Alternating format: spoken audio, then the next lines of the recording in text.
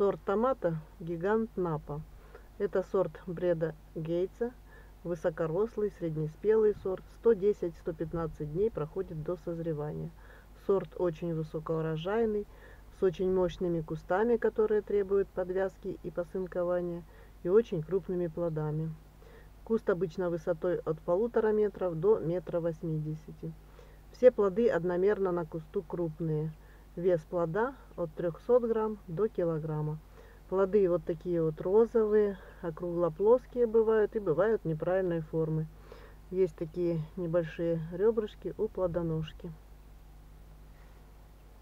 Плоды многокамерные, очень мясистые, с насыщенным цветом мякоти и превосходного сладкого вкуса. Выращивать этот сорт можно как в теплицах, так и в открытом грунте но нужно формировать в один-два стебля и подвязывать к опоре.